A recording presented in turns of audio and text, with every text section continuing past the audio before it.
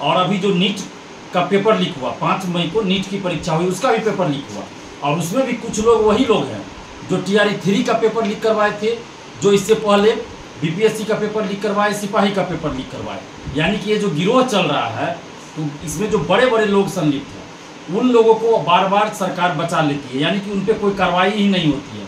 अभी हम लोग ये मान कर चल रहे थे कि इस बार कम से कम T R three paper leak के बाद जो बड़े बड़े कोचिंग संचालक है, शिक्षक है, जो संलिप्त रहते हैं ऐसे मामलों में, उन पर कार्रवाई होगी।